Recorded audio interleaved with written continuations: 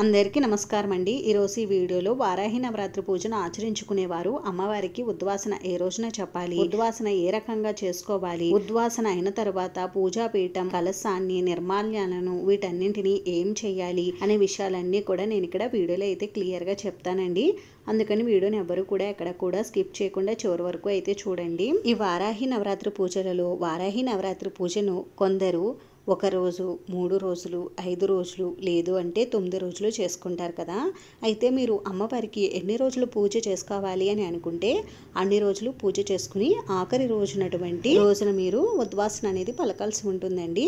మీరు ఒక్క రోజే నవరాత్రుల పూజను చేసుకుంటే కనుక అప్పుడు మీరు ఉద్వాసన ఎప్పుడు పలకాలి అని అంటే మనం అమ్మవారికి రాత్రి సమయంలోనే పూజ చేసుకుంటాం కాబట్టి ఆ రోజు నైట్ అమ్మవారికి పూజను నిర్వహించుకుని మరుసటి రోజు మీరు అమ్మవారి పీఠం అయితే కదపాల్సి ఉంటుందండి. మరుసటి రోజు ఉదయం కూడా అమ్మవారికి పూజ చేసుకుని మీరు పీఠం అనేది కదపాల్సి ఉంటుంది. ఒకవేళ మీరు అమ్మవారికి ఉదయం వేళల్లో పూజ చేసుకుంటే మాత్రం మీరు అమ్మవారికి సాయంత్రం కూడా పూజను తొందరగా నిర్వహించేసుకుని చీకటి పడకుండానే అంటే సూర్యాస్తమయం కాకుండానే మీరు అమ్మవారి పీఠం అనేది కదిపేయాల్సి ఉంటుందండి. ఒకవేళ మీరు అమ్మవారికి తొమ్మిది రోజులు పూజ చేసుకోవాలని అనుకుంటే తొమ్మిది రోజులు కూడా పూజ నైట్ టైం చేసుకుంటే నైట్ టైం తొమ్మిది రోజులు కూడా పూజను కంప్లీట్ చేసుకుని మరుసటి రోజు ఉదయం మీరు అమ్మవారికి ఉద్వాసన అనేది పలకాల్సి ఉంటుందండి.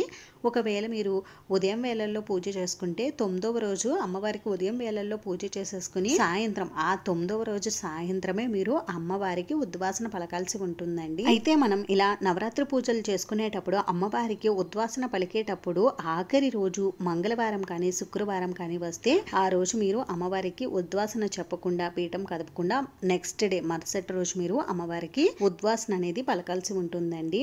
అయితే మనకి రెండు వేల ఇరవై నాలుగో సంవత్సరంలో ఈ వారాహి నవరాత్రి పూజలు విశేషంగా పది రోజులు అయితే వచ్చాయండి. అంటే జూలై పదిహేనవ తేదీ సోమవారం వరకు అయితే మనకి ఈ నవరాత్రి పూజలు అయితే ఉన్నాయండి. ఒకవేళ మీలో ఎవరైనా ఈ పది రోజులు కూడా మేము అమ్మవారిని పూజించుకుంటామా అండి?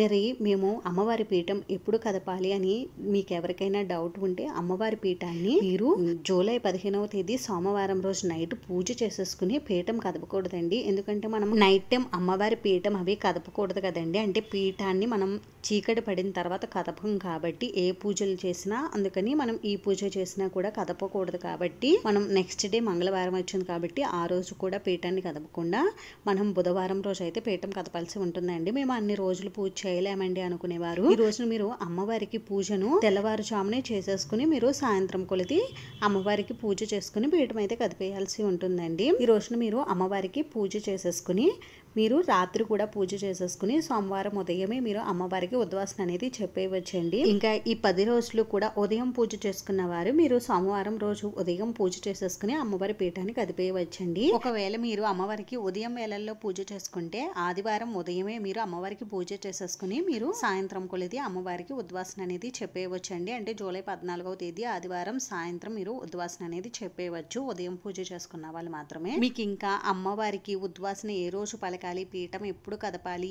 ఇంకా ఈ విషయాలపైన ఏమైనా మీకు డౌట్స్ ఉంటే నాకు కామెంట్ చేయండి రిప్లై ఇస్తాను. అయితే ఇప్పుడు మనం అమ్మవారికి ఆఖరి రోజున ఉద్వాసన చెప్పే రోజున పూజ ఏ విధంగా చేసుకోవాలో ఇప్పుడైతే తెలుసుకుందామండి. ముందుగా మనం ముందు రోజు పెట్టినటువంటి నిర్మాల్యాలన్నీ కూడా తీసేసి మీకు మీ శక్తి సమయం ఉంటే గనక అమ్మవారికి మీరు ఈ రోజు కూడా షోడశోపచార పూజ నిర్వహించుకోవచ్చండి. ఒకవేళ ఈ రోజు మీకు షోడశోపచార పూజ చేయడం కుదరలేని వారు అమ్మవారికి పంచోపచార పూజనైనా నిర్వహించుకోవచ్చు.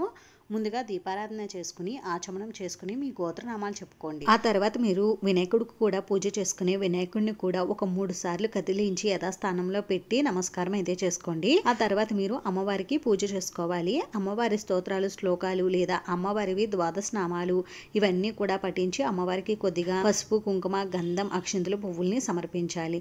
వీలు ఉంటే మీరు ఈ రోజు అమ్మవారికి కుంకుమ పూజను కూడా నిర్వహించుకోవచ్చండి. ఆ తర్వాత ధూపం దీపం నైవేద్యం అయితే అమ్మవారికి సమర్పించాలి. మీ శక్తి కొలిది అమ్మవారికి నైవేద్యం సమర్పించండి. ఈ రోజున అమ్మవారికి బియ్యంతో తయారు చేసినటువంటి నైవేద్యాలను సమర్పిస్తే చాలా మంచిదండి. అమ్మవారికి ఈ రోజున దద్దోజనం సమర్పించండి మంచిది.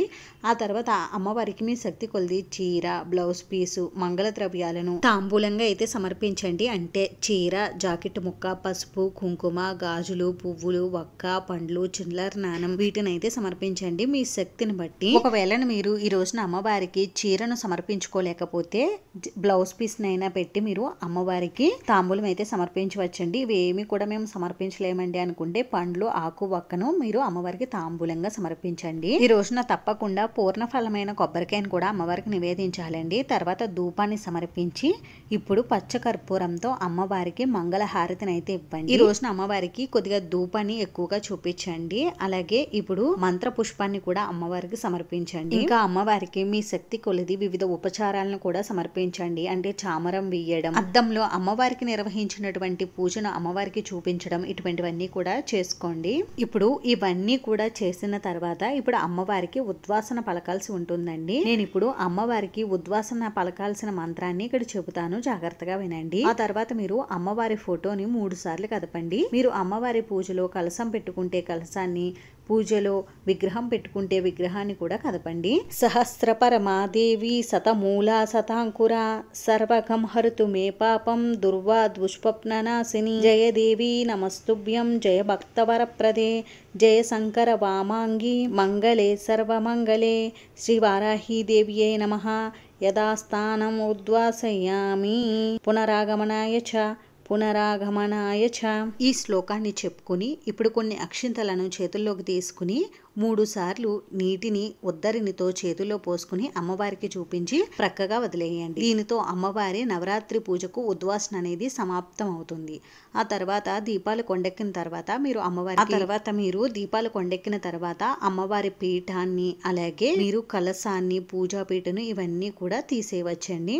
అలాగే తొమ్మిది రోజులు కూడా పూజను పూర్తి చేసుకున్న తర్వాత అమ్మవారికి ఉద్వాసన పలికేసిన తర్వాత అమ్మవారికి ఎరుపు రంగు నీళ్ళతోటి దృష్టి అనేది తీయండి. ఇలా చేస్తే చాలా మంచిదండి. ఎందుకంటే మనం అమ్మవారికి ఈ తొమ్మిది రోజులు పూజ చేస్తున్నప్పుడు అమ్మవారిని చూస్తూ అమ్మవారు చాలా అందంగా ఉన్నారు చాలా నిండుగా ఉన్నారని అనుకుంటూ ఉంటాం కదండి. అప్పుడు అమ్మవారికి దృష్టి తగులుతుంది కదా అందుకని ఇలా ఎర్రటి నీళ్ళతో మనం అమ్మవారికి దృష్టి తీస్తే మంచిదండి. అమ్మవారు చాలా సంతోషిస్తారు. మీకు కుదిరితే చేయండి లేదు అంటే లేదు. ఇప్పుడు మనం ఈ నవరాత్రి పూజల్లో తొమ్మిది రోజులు కూడా ఈ విధంగా పూజల్లో పెట్టుకున్న కొన్ని వస్తువులను ఏం చేయాలని చాలా మందికి డౌట్ ఉందండి. వాటిని ఇప్పుడు నేనైతే క్లియర్ చేస్తాను. ఒకవేళ మీరు పూజలో కలసం పెట్టుకుంటే ఆ కలసంలో ఉన్న నీటిని తమలపాకుతో కానీ లేదు అంటే మామిడాకుతో కానీ ఇల్లంతా కూడా సంప్రోక్షణ చేయండి.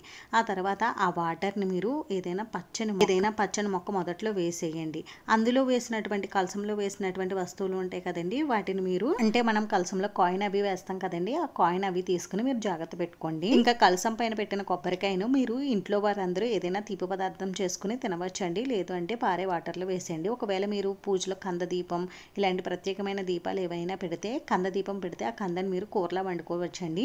మిగిలిన ఏ దీపాలు పెట్టినా మీరు వాటిని పారే వాటర్లో వదిలేయవచ్చండి.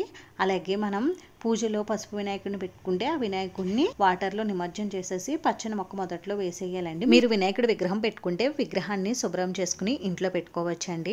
అలాగే మనం అమ్మవారికి సమర్పించినటువంటి తాంబూలం అంటే బ్లౌజ్ పీస్ ఇవన్నీ పెట్టాం కదండి బ్యాంగిల్స్ ఇవన్నీ కూడా మనమే ఉపయోగించుకోవాలండి. అంటే ఆ బ్లౌజ్ పీస్ని మనమే కుట్టించుకోవాలి ఆ గాజులు మనమే వేసుకోవాలండి ఎవరికి ఇవ్వకూడదు. అలాగే మనం అమ్మవారికి నిమ్మకాయలు మాల పువ్వుల మాల ఇవన్నీ వేస్తాం కదండి. మనము ఆ రోజు పూజ చేసుకుంటాం కాబట్టి ఆ పువ్వుల మాలలు అనేవి వడిలిపోవండి. అటువంటి అప్పుడు మాలలు వడిలిపోకపోతే ఆ మాలలను మనం ద్వారబంధానికి కట్టుకోవచ్చండి. లేదా ఇంట్లో ఏదైనా డెకరేషన్గా మనం వాడుకోవచ్చు వాటిని.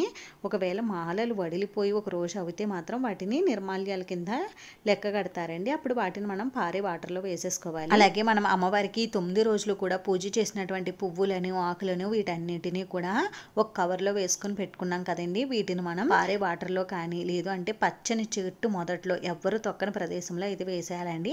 అలాగే మనం అమ్మవారికి కుంకుమ పూజ నిర్వహించుకున్నాం కదండి. ఆ కుంకుమని మనం ప్రతిరోజు కూడా ఇంట్లో వారందరూ బొట్టుగా ధరిస్తే మంచిదండి. అలాగే మనం పీఠం పైన బియ్యం వేసుకున్నాం కదండి. ఆ బియ్యం కొద్దిగా మనం పసుపు కుంకుమలు పడి కొద్దిగా పాడైపోయినాయండి. అందుకని నేను వాటర్లో నిమజ్జనం చేసేయడానికి కోసమని తీసేస్తున్నాను. మీకు పసుపు కుంకుమలు పడకుండా ఉంటే ఆ బియ్యాన్ని మీరు ఏదైనా తీపి పదార్థంగా చేసుకుని ఇంట్లో వారు తినవచ్చు తినవచ్చండి అలాగే మనం అమ్మవారికి వేసిన నిమ్మకాయల మాలను పూజలో పెట్టుకున్న నిమ్మకాయని ఏం చేయాలి అని అంటే ఈ నిమ్మకాయలను మనం ప్రసాదంగా స్వీకరించవచ్చండి. లేదు అంటే మనం ఈ ద్వారబంధానికి కట్టుకోవచ్చు. లేదు అంటే మనకి వాహనాలు ఉంటాయి కదండి వాటికైనా ఈ నిమ్మకాయలను కట్టుకోవచ్చు. అలాగే మనం పూజలో పసుపు కొమ్ములు పెట్టుకున్నాం కదండి ఆ పసుపు కొమ్ముల్ని ఒకటి ద్వారబంధానికి కట్టి మరొకటి మనం పౌడర్లో చేసుకుని ముఖానికి రాసుకోవాలండి మంచిది. అలాగే మనం పీఠం పైన వేసిన క్లాత్ని మనం మళ్ళీ శుభ్రం చేసుకుని మళ్ళీ వాడుకోవచ్చండి.